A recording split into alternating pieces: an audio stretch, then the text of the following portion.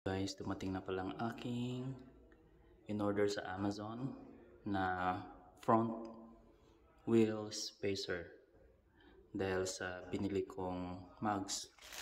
So, i-unbox ko siya ngayon. Tingnan ko kung anong itsura ng spacer na to. So, i-unbox ko ito guys.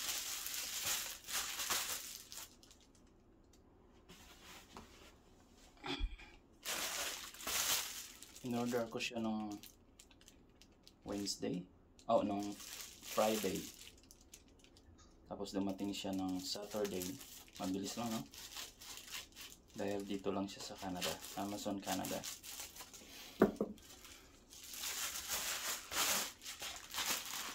So, ito yan. Dahil yung nabili kong wheels, yung spokes nito tumatama sa brake. So, kailangan ko ng half inch away from the brake caliper para ito hindi siya sumagi. So, front wheel lang naman ang kailangan, hindi na hindi na sa likod. So, ito tsura niya. First time ako umorder na nga sa Amazon. Dalawang araw lang. Wala pa. So, wheel spacer. 5 lugs. Dahil 1, 2, 3, 4, 5. And uh, 135 mm. So, universal siya, no?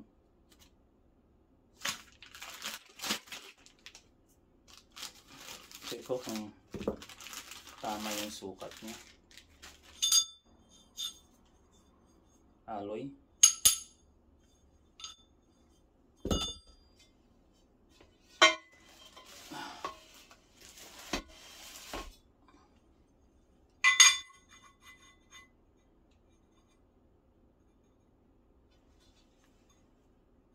So, pasok yung butas. Medyo ano siya. Yan.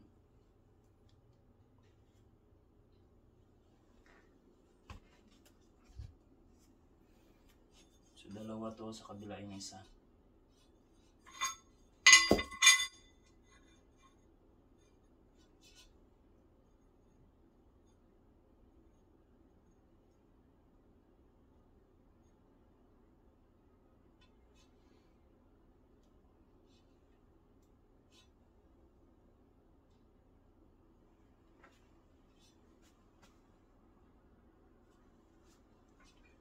Dapat pala naka-glue siya?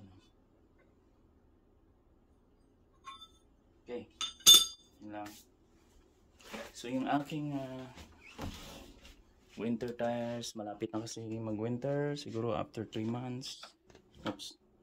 Nandito sa loob yung tires. Dito siya nakabalot. Apat siya. Tapos yun yung wheels. Yun lang.